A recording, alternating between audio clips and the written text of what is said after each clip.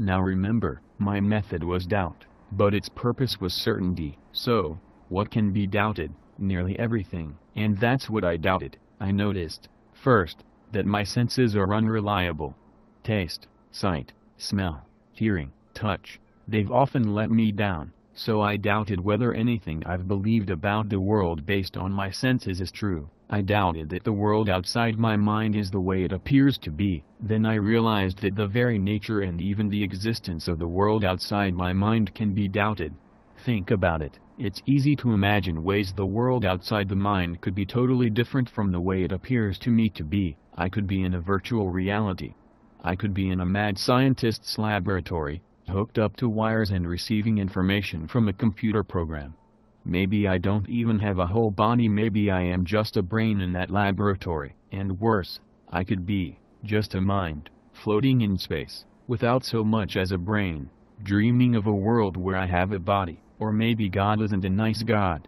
Maybe God is a prankster enjoying a cruel joke at my expense. Or maybe instead of God there is, a terrible demon with godlike powers, deceiving me and maybe all my perceptions of the world are the result of his trickery. Maybe I'm not even a mind floating in space, maybe three-dimensional space is itself part of the illusion, maybe I am just a mind, without even a space to float around in. These scenarios are not probable, but they're possible. And so I had to doubt that the world was at all the way I perceived it to be, and even that it exists. I considered, next, whether I might fall back on reason. Surely two and two make four, no matter what, right? Right? Wrong. I realized I could doubt this too. Reason has failed me in the past so maybe it is always unreliable. And worse, if God is a prankster, or if a malevolent omnipotent being wanted to deceive me into thinking that 2 plus 2 equals 17 billion, they could do it. They could even make it seem obvious to me, like 2 plus 2 equals 4 seems obvious to me now, so how do I know they haven't already deceived me in a similar way, and that my belief that 2 plus 2 equals 4 is not itself the result of their deception?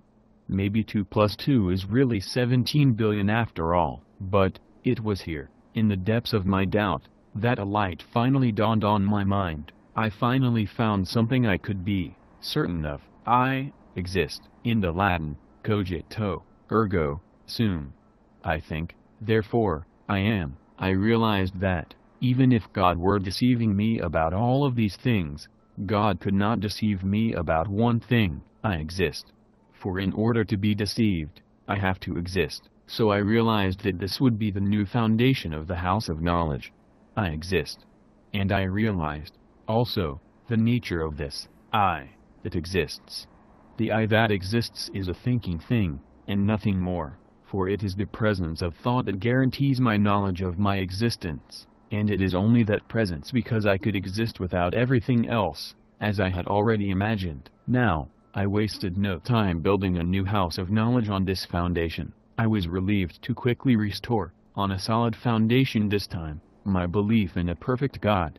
For I noticed that, in my mind, there was a certain idea of God, and that idea was an idea of a perfect being. I also realized that, since I had an idea of a perfect being, and since everything that is caused by something must be caused by something at least as perfect as it is, and since I was not perfect, I could not be the cause of my own idea of a perfect being, and nor could anything else imperfect, the idea of a perfect being could only be caused, by a perfect being, and thus, I had proven that a perfect being exists and that perfect being is God. And it gets better, since God is perfect, I was able to restore my belief in the world outside my mind, the reliability of reason, and the reliability of my senses, as long as I used them properly, because I could see that I did not create myself, I knew that God had created me.